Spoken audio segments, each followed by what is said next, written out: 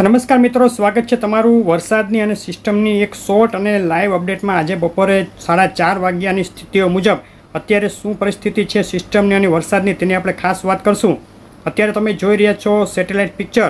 Satellite પિક્ચરમાં આપણે જોઈ શકીએ કે અત્યારે સૌરાષ્ટ્ર કચ્છની પશ્ચિમી અરબ સાગરમાં ગાઢ વાદળો જોવા મળે છે, જે સતત કાંઠા વિસ્તારને સ્પર્શી રહ્યા છે. પોરબંદર જિલ્લાથી લઈ દેવભૂમિ દ્વારકા અને ત્યારબાદ પૂર્વ પશ્ચિમ કચ્છના કાંઠે ભારે વરસાદ નોંધાયો છે અને તેની સાથે જ અત્યારે દક્ષિણ સૌરાષ્ટ્રના જૂનાગઢ, ગીર સોમનાથ જિલ્લામાં પણ ભારે વરસાદના સમાચાર મળી રહ્યા છે. તો તેનું શું કારણ છે તેની વાત આપણે અત્યારે કરશું. તો અત્યારે તમે જોઈ રહ્યા છો, સાતસો એચપી ઊંચાઈનો સાડા ચાર વાગ્યાનો આજનો લાઈવ ચાર્ટ.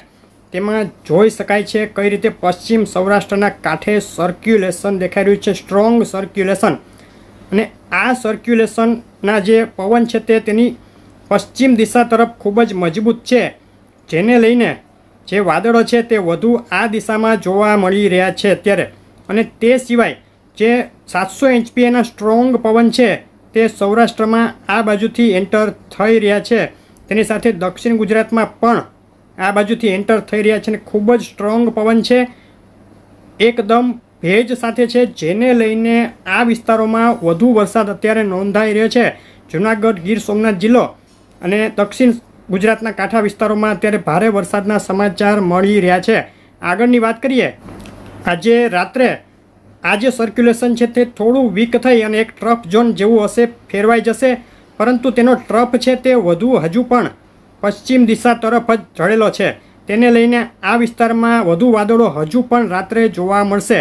અને પવનો આ દિશાના સ્ટ્રોંગ ચાલુ રહેવાના છે, જેને લઈને આ વિસ્તારોમાં દક્ષિણ સૌરાષ્ટ્ર અને દક્ષિણ ગુજરાતમાં રાત્રે પણ વરસાદ જોવા મળશે.